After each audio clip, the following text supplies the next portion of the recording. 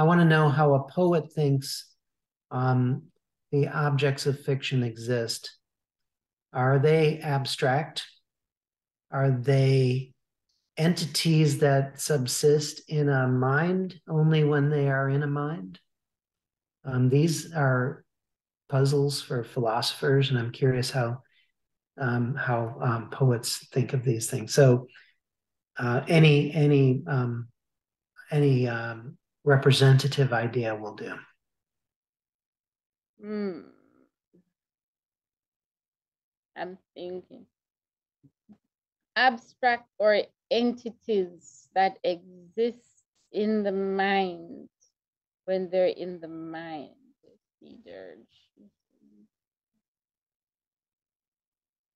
That's the thing, is like you made me think that maybe most of the poems that I write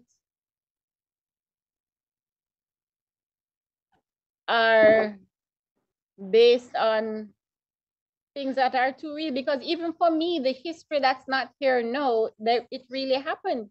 So i'm trying to find something that straddles you know that, that abstract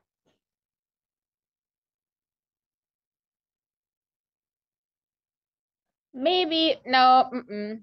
okay maybe i'll read give me a god maybe I'll read Give Me a God. I'm, and I'm going to explain why. Um, Robert Lowell. Robert Lowell had this poem, Will Not Come Back. Robert Lowell was from like the 50s, and he American, and I think he was one of them that started before oh i love anne sexton by the way. That whole idea of um um trying to remember what you call it confess confession confession poet right? So robert lowell was credited with being one of the earlier confession poets so he has this poem. I think it's geared it was towards his ex-wife. I don't know how many ex-wives i can't remember.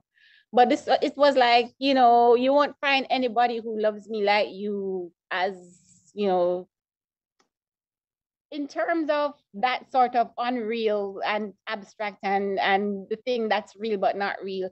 So i had a poem in response to his poem will not come back. And this basically was from um, the wayne brown workshop because he he he had this robert lowell poem he loves robert lowell and ted hughes so we would have arguments. The women in the class would have arguments with him about Ted Hughes, you know, Sylvia Plath and all of that. So Safi and I love Plath.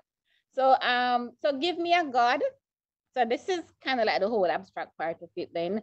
And um, so I have a quote from Robert Lowell's Will Not Come Back at the beginning. So this is from the first book, The Festival of Wild Orchid. You know how it looks already.